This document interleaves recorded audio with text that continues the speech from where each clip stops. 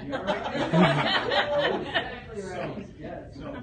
Yesterday, I have to tell you folks, was a Chamber of Commerce Day in the Wausau. region. Wausau Region Chamber had its uh, annual golf outing, hundred and sixty golfers having a blast at the Wausau Country Club. Today is seventy-two, uh, normal is seventy-nine degrees, and, uh, record back in nineteen thirty-three was ninety-five. All right, Dave, I'm gonna cut you off now. I'm done.